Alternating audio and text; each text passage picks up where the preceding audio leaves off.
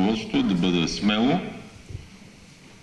ще възстановим и базата и най-вече производство, дали ще е за самолети, дали ще е на дронове.